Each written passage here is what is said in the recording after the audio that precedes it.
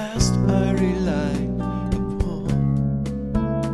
On my own, what I had become, I shift my gaze. I look away from its hold that would just constrain to a limitless living hope. I'll run.